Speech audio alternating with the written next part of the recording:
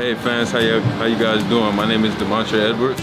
I've been traveling all day, so I'm a bit tired, so I haven't been able to make any first impressions, but it's, it's smooth so far. He was telling me about the food, telling me about the people, um, how good you guys are, and uh, just that you guys will make me feel super welcome. I'll enjoy it here. I just want to come in and play super hard, do whatever the team needs me to do. You know, enjoy my teammates, help make the guys better around me, and those guys help make me better as well. The fans, uh, I just want to say that I'm super excited to be here. We're in store for a good season. Uh, we are going to work very hard as a team, and uh, I can't wait to see you guys out there for the first game. Go Ghost Hawks!